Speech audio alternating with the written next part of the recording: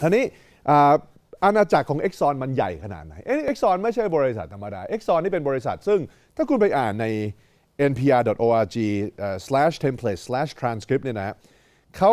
เขียนถึงหนังสือซึ่งมีชื่อว่า The Private Empire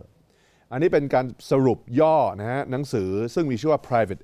Empire ซึ่งหนังสือ Private Empire เนี่ยเป็นหนังสือที่น่าซื้ออ่าน เพราะว่าได้เป็นหนังสือที่ที่เขียนเกี่ยวกับ และและและในลิงก์เนี่ยเขาสัมภาษณ์คนที่เขียนหนังสือเล่มนี้ Private Empire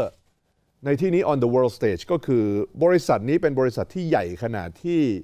รายได้ต่อปีนั้นใหญ่กว่าผลผลิตมวลรวมของประเทศขนาดกลางของโลก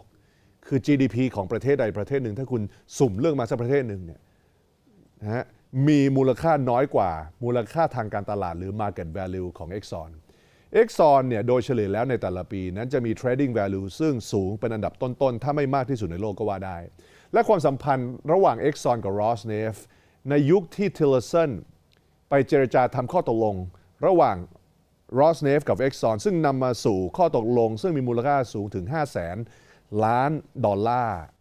การแบ่งกันขุดเจาะน้ำมันในในมหาสมุทรอาร์กติก และการแบ่งแบ่งแบ่งแบ่งปันการขุดเจาะน้ำมันในในอ่าวเม็กซิโกเนี่ย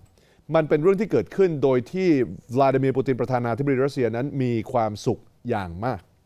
ขอบคุณท่านผู้ชมทุกท่านที่ติดตามคลิปของรายการ The Daily Dose